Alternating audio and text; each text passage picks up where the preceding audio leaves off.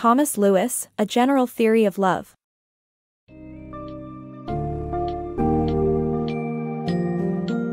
Dive into the fascinating world of human emotions as we explore the insightful book, A General Theory of Love, by Thomas Lewis. This summary will take you on a journey through the evolution of the human brain and its impact on our behavior, particularly in the realm of love and attachment. You'll discover the roles of neurotransmitters such as serotonin, oxytocin, and opiates in shaping our emotions, as well as the power of attractors in defining our experiences. As you piece together the complex puzzle of human emotions, you'll gain a deeper understanding of the interplay between our perceptions, feelings, and experiences.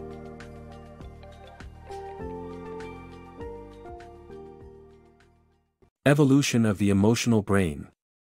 Human emotions have been studied by scientists for centuries, and our modern understanding of the brain's evolution has played a key role in explaining our emotions and behavior.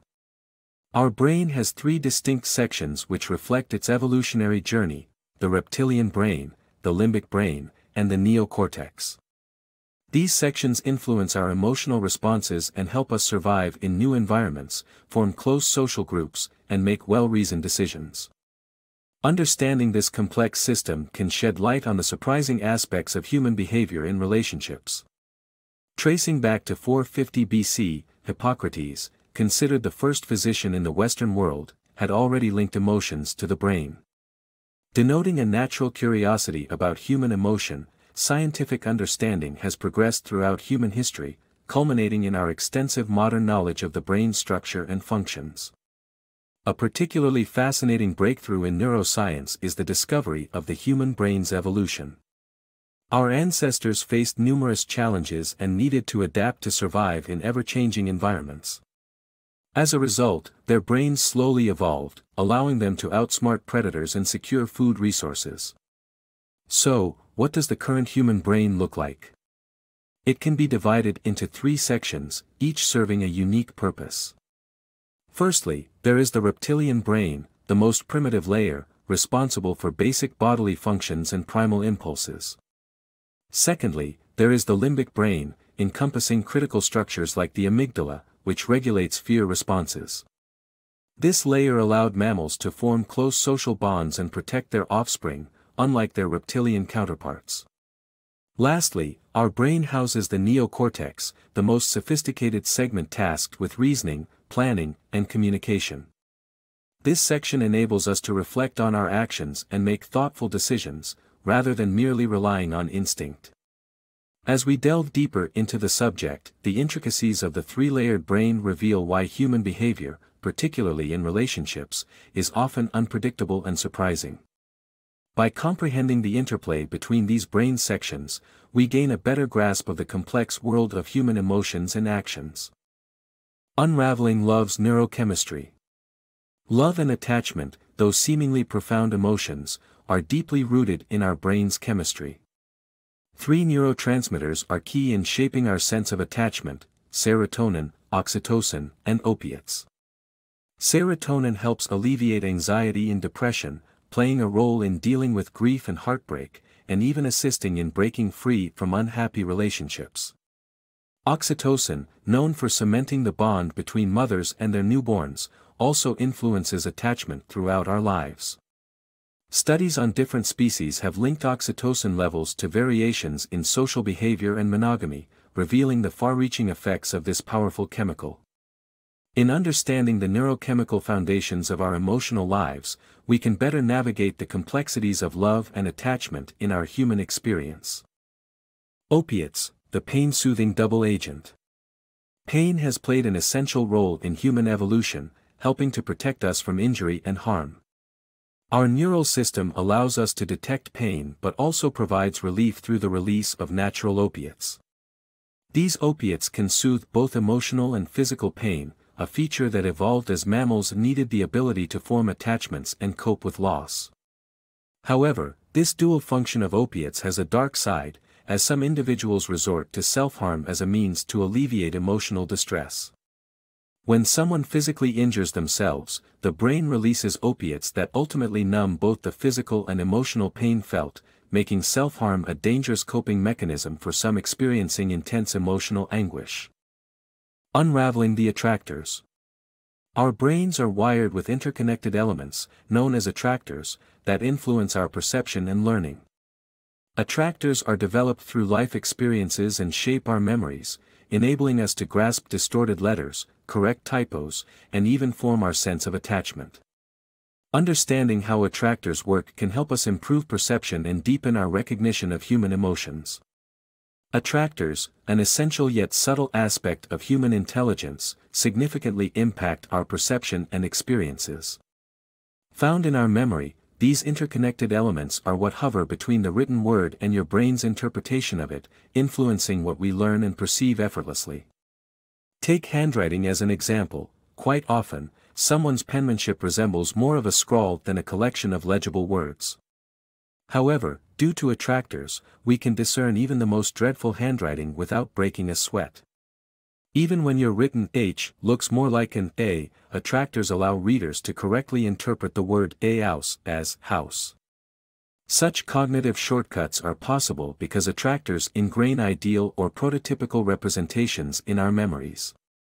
When we encounter a distorted letter or a typo, the attractors interfere and override our perception, helping us correct and understand the intended meaning more efficiently. For instance, if we stumble upon the typo tot, the attractor responsible for the prototypical, that steps in and clarifies the writer's intended message. Attractors are not limited to reading and writing, they also play an essential role in shaping our emotional experiences. From our nascent days, our brain forms attractors that connect and influence our memories. These established links within our brain are built upon our experiences. The limbic brain, responsible for our feelings, is also influenced by attractors. Our experiences forge the ideal sentiment of attachment throughout our lives. Grasping the mechanisms of attractors assists us in deciphering human emotions better and navigating our relationships more effectively. Shaping emotional intelligence. Emotional intelligence is rooted in an individual's ability to empathize with others and respond accordingly. Our emotional memory consists of interconnected elements, known as attractors. As infants, the limbic brain is unregulated, and it's through their mothers that babies develop an emotional prototype, guiding their ability to empathize later in life. A stable bond between parent and child is critical in building emotional intelligence. This limbic regulation continues to play a significant role in adulthood. Nurturing strong, stable relationships allows adults to grow and change emotionally, enabling them to modify their emotional attractors and positively influence the limbic brain. Our emotional memory is a complex system, consisting of interconnected elements called attractors. Throughout our lifetime, humans develop these networks, laying the foundation for emotional development early in life. In the beginning, infants' limbic brain, responsible for emotions, remains unregulated, requiring their mothers to shape their emotional experiences. Consider a toddler learning to walk, if the child falls and witnesses the mother's amusement, they may mimic the laughter. On the other hand, if the mother seems worried, the child is more likely to cry. This connection between child and parent is crucial for developing emotional intelligence, understanding others' emotions and appropriately responding to them. Limbic regulation doesn't end in childhood. As social creatures, adults also need emotional stabilization from external sources. While dependency on feedback might seem like weakness, it's actually the source of our strength in connecting with others. Maintaining stable, trusting relationships with close friends and romantic partners lets us modify the emotional attractors in our brains, expanding our capacity for growth and change on an emotional level. In essence, emotional intelligence begins in infancy but continues evolving through our relationships and connections with others. Developing this competence enables us to empathize, connect, and grow emotionally, shaping the diverse landscapes of our emotional memories. Reprogramming emotional inheritance. The quality of our childhood attachments significantly influences our adult relationships, as these early experiences shape our emotional brain. When we inherit emotional problems, it's due to our influencer's underdeveloped emotional capacities. However, psychotherapy can help break this cycle by revising our limbic patterns, enabling us to make healthier choices in friends and romantic partners.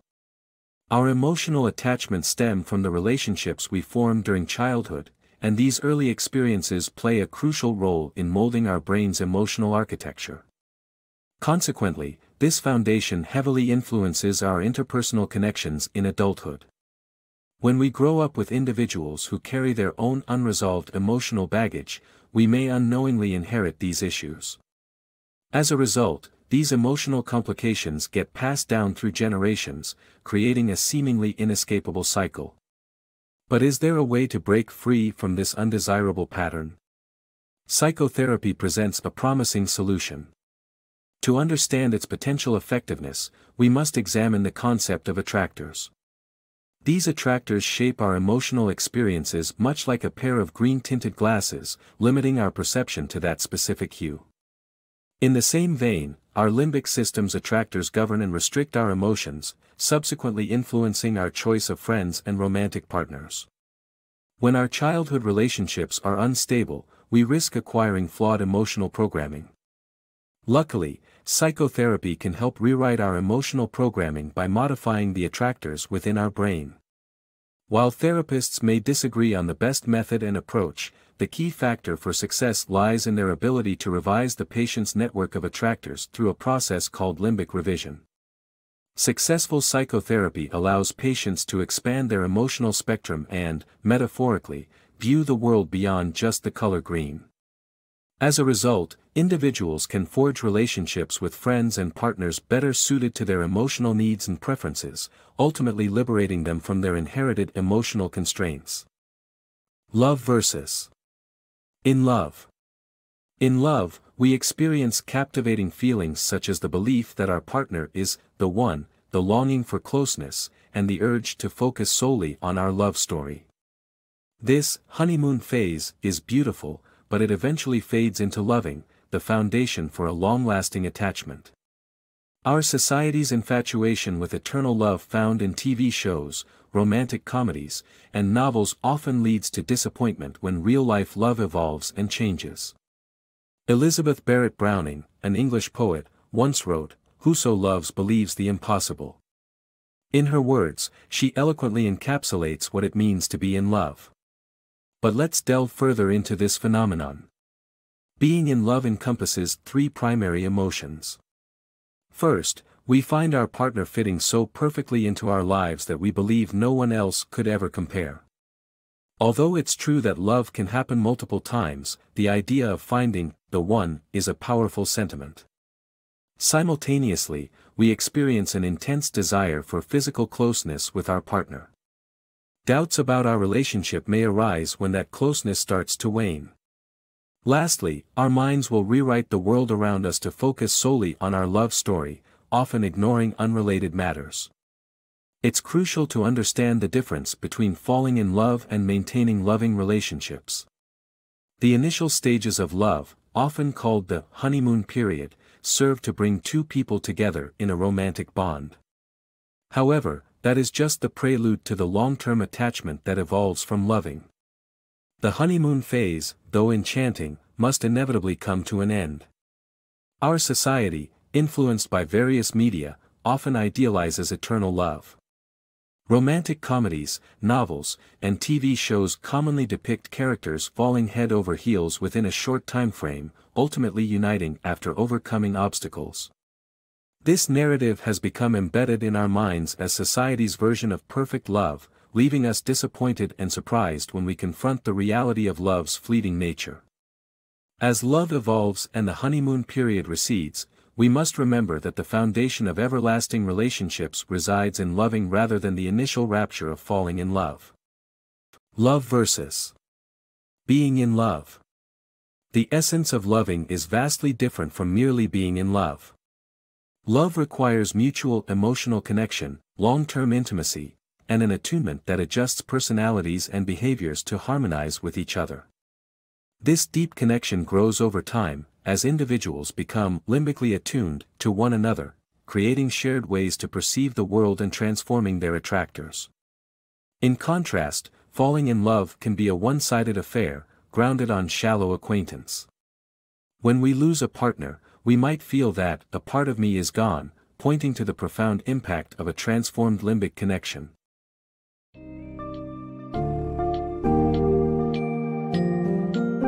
As we reach the end of this illuminating summary of a general theory of love, we've seen how the human brain evolved and adapted to environmental changes, and how the interplay between emotions, neurotransmitters, and attractors shape our feelings and relationships.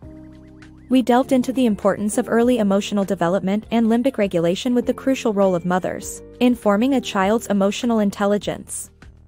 We've compared and contrasted the differences between falling in love and true love, emphasizing the significance of long-term intimacy and limbic attunement in creating deep connections. Armed with this newfound knowledge, you're better equipped to comprehend the dynamic nature of human emotions and their role in shaping our lives.